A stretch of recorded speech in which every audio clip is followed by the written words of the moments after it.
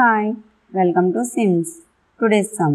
Length of a rectangle is 4 meters less than 3 times its breadth. If the perimeter of rectangle is 32 meters, then find its length and breadth.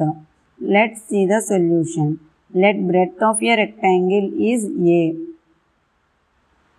We say length of rectangle is L is equal to 4 meters less than 3 times of breadth.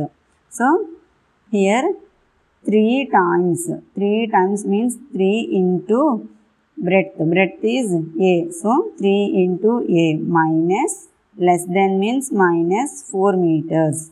So, given perimeter, perimeter of rectangle is 2 into L plus B. So, 2 into L is 3A minus 4 plus B breadth is A is equal to 32. So 2 into 3A 3A plus A is 4A minus 4 is equal to 32. 2 into 4A is 2 4s are 8A minus 8 is equal to 32. 8A is equal to 32 plus 8. 8A is equal to 32 plus 8 is 40. So, A is equal to 40 by 8. Here, 8 is multiple with A. So, this A, 8 change to left hand side, then divide the number. So, 40 by 8. 8 is cancels with 40 in 5 times.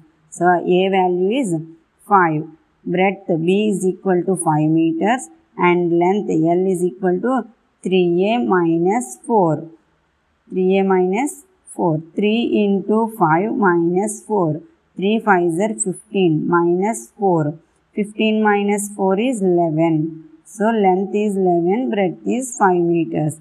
This is the solution. Thanks for watching this video. Please subscribe.